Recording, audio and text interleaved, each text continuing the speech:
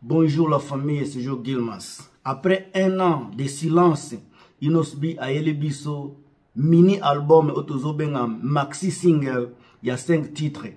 Epe calcule zoya bandeko na nga oyo boyebi miziki oyo bolingaka la bonne musique bino bato bozala boza wana mpona kosuporte bamusicien congolais deja bozala prêt mpona ko télécharger, mpona ko streamer, mpona kosomba Inosbi, Parce que c'était le musicien le plus ambitieux de tout le temps dans la musique à Congo, à part Kofi Olomide. Inosbi, c'est le seul musicien le plus performant, le musicien le plus ambitieux, le musicien le plus improviste. Il improvise à n'importe comment, n'importe où et n'importe quand. C'est le musicien le plus, le plus créateur. Il a de la créativité inexplicable. Makamyo Sasalaka, ezalaka surprise un musicien, encore une fois, ambitieux, un musicien le plus performant de l'année, le musicien le plus sollicité en 2023. Il a fait des, des, collaborations avec plus de 7 musiciens, 7 artistes. Donc, place Inosubi Azokende. Il a toujours voulu partir avec d'autres personnes. Il ne veut pas manger seul. Il ne veut pas être vu seul. Quand il réussit, il veut que tout le monde réussisse. Et là, et là, et là, et là, et là, et là. Nous avons également notre maman Nabango, Rebochulo, qui ne se laisse pas également et dit que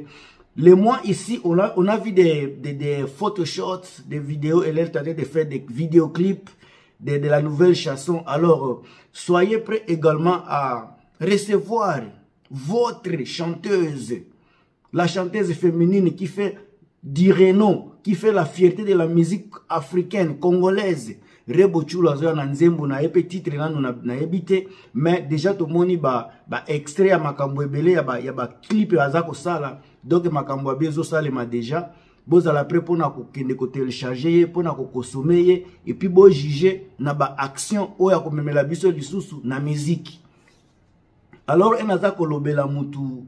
lokola inosbi ke aza ambitieux il faut napesaka mpe bino bapreve depuis ke inosbi azala inosbi depuis ke tout le monde a découvert inosbi on n'a pas découvert inosbi de dormir c'est un homme qu'on a découvert au niveau des États-Unis, à l'âge de 14 ans, 12 ans, il a déjà été aux côtés des grands, comme Batoulokola, Bachin Paul, Bati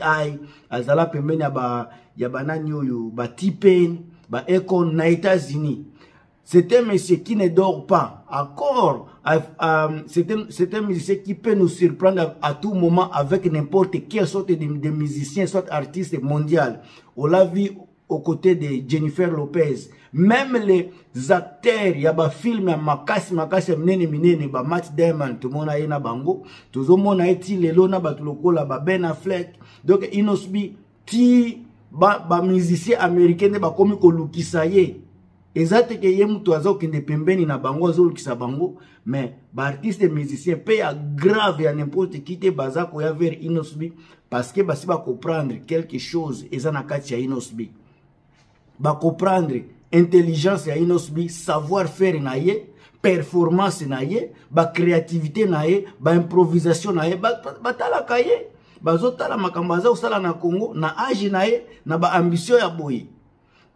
tolinga tolinga te qu'on ne se voile pas de face bavie ebele awa ya bapli de ba 47 ta ba 46 ans bazokolanda mpe lokolo ya inosb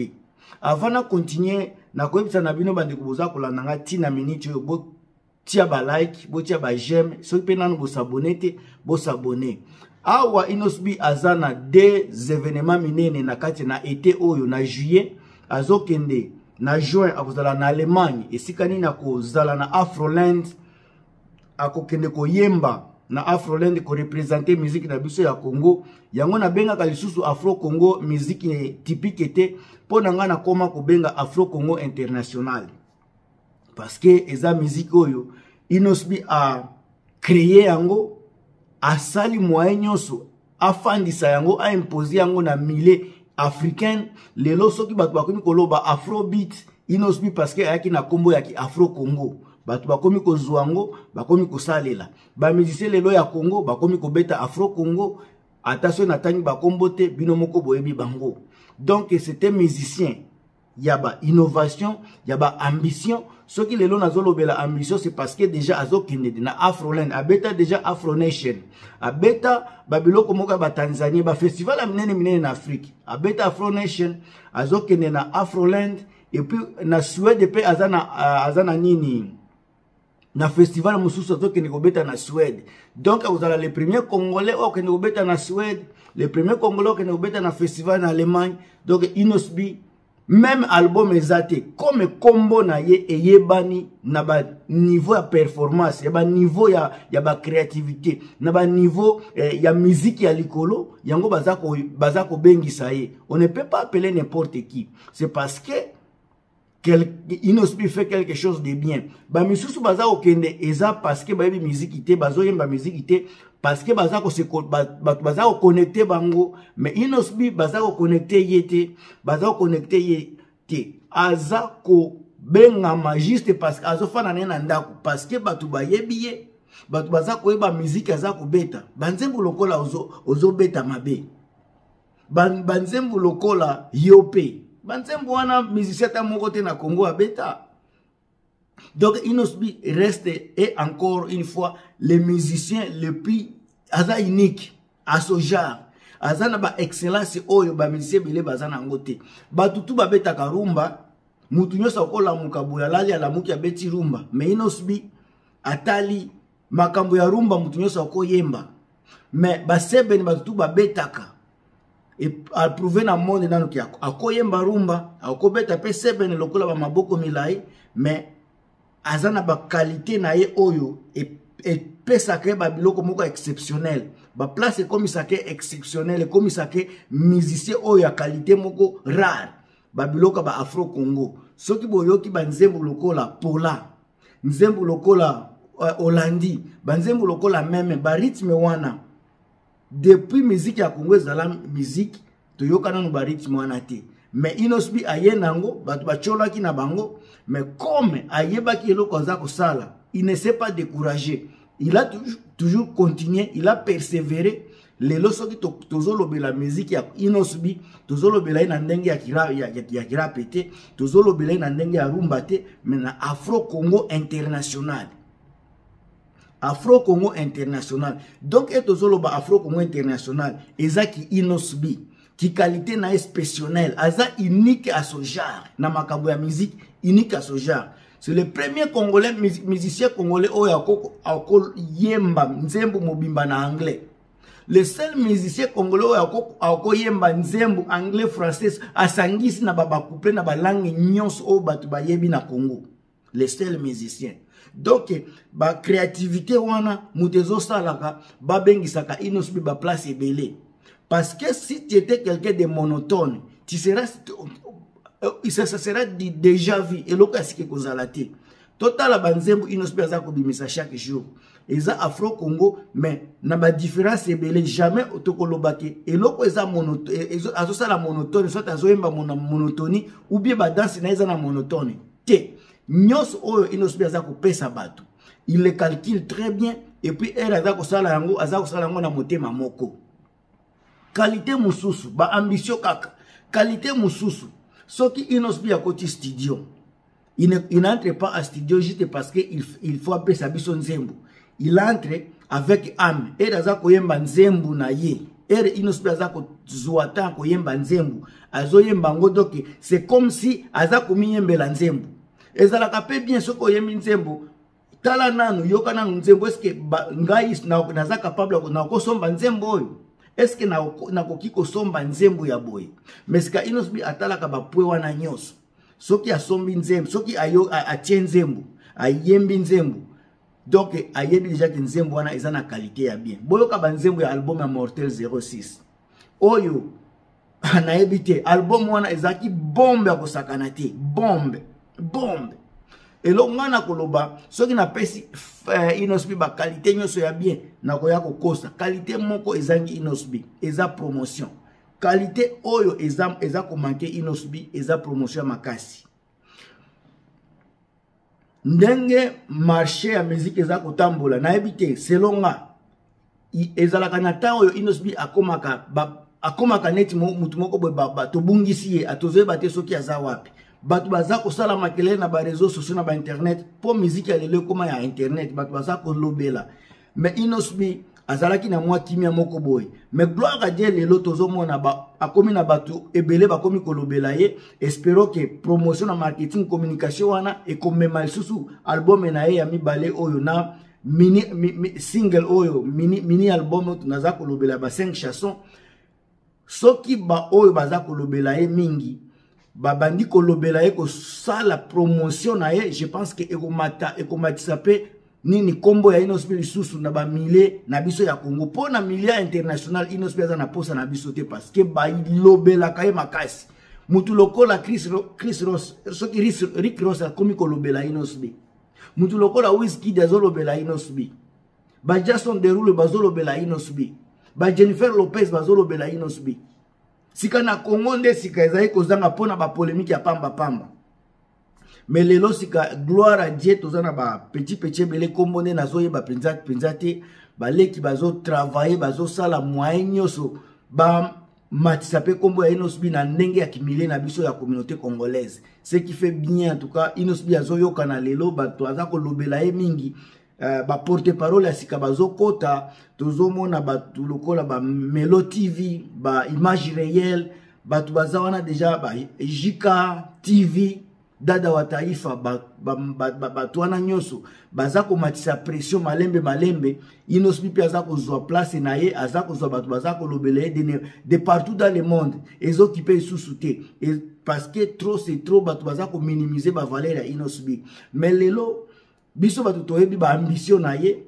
bacapacité artistique na ye basavoir faire na ye moyen tofanda kimia eza te faut tolobela toujours baevre ba baqualité na ye parce que c'est très important mpona motu lokola inosbi nga motu na bino gilmas je pense que video oyo esali nga ekosala bino mpe bien eh, tozela EP calcul ya Innosb ekobima je pense le 29 mars donc na suka ya sanza da 4 semaines déjà album eh, album wana ekozala ngai nazobenga yango déjà mini album maxi single ekobima kala mingi te bandeko na ngai oyo bosepelaka na miziki ya Innosb bosepelaka na la bonne musique rumba moko eza na kati wana soki titre na yango calcule rumba wana eza bien alati rouge déjà azosala promotion na yango bato ebele bayambi yango très bien na tiktok na ba instagram na facebook bato baza koyemba yango baza kosala yango déjà ba challenge ce qui montre ke inosbi aza na bato baza kosepela na ye baza kolinga ye alors bino bato oyo boza na posa ya, ba, ya, ya, ya komaintenir toujours flambeau wana ya miziki na biso bokende déjà ko telecharge bo oyo nano asabona na ba spotify te akende kosabone eza nango 10 dollar kaka olia okende komela masanga tia 10 dollar na yo age mokolo album ekobima obandi kopompe yango ozostreame ozopompe ozopompe ozopompe ostreame yango mpena makasi oyo aza na posa uh, eh, ya kosomba asombi mpe album mobimba eza ba 5 chanson na yango osala eloko te soki biso tozwaka courage wana ya kosombaka banzembu epuis totelechargeaka yango parce que toyebi ba valeur artistique ya inosbi soki yo mpe oza wana ndeko na ngai somba nzembo nzembo moko ezali kozala na valeur ya ba 1 dollar et demi toloba 1 euro soki oza mpena moto oza na mposa ya miziki moto lokola joel, nde, eh, joel ndelo akozangisa jamais kosomba nzembo ba, ba, mm, mbose jas, jasmine na niveau ya france bamama wana nyonso bamere ya kilo bamere ya valeur baza wana mpo na kovalorize culture na biso ya mboka afro congo pourquoi pas afro congo bajoel mbembe na niveau ya, ya suede soki norvege kuna inosbi aza koya deja na makambo botia ye poids bosomba deja banzembu botelecharge bostreame bino bato boza na poto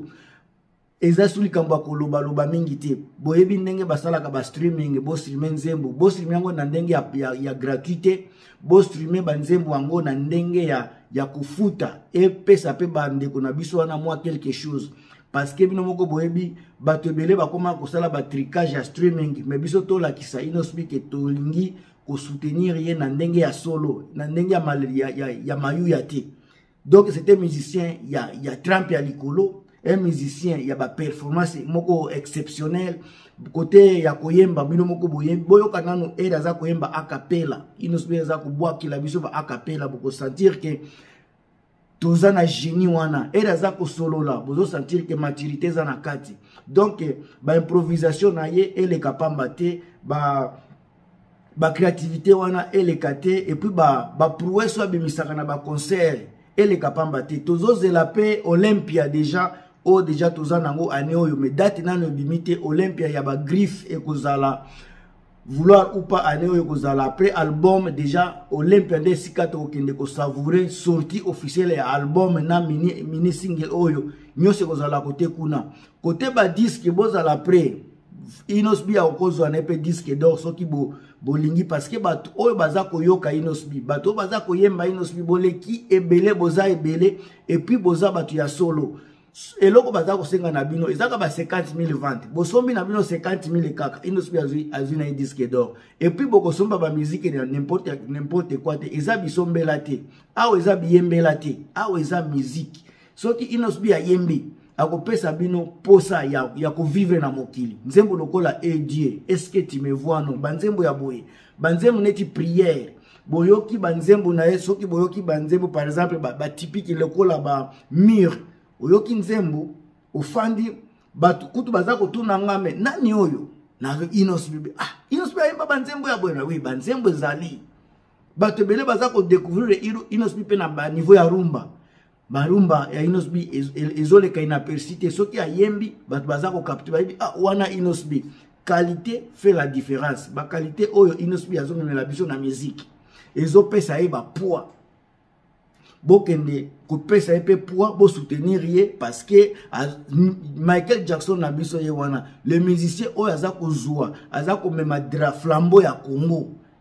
na génération oyo ya lelo eza ye le musicien le plus ambitieux na musique na biso à part Koffi Olomide eza ye le musicien le plus honnête le plus franc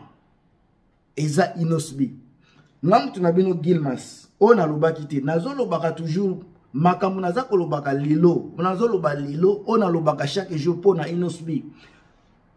bokopesaka nga raison un jour boza na génie biso na congo toza na génie ya monene lokola inosbi mais okomona bapetit ba moko boye bazanga makambo moto ake kofanda na se ya nzete kaleso etoboka motoki na kati ye moto azoya koya kodenigre bavaleur ya inosbi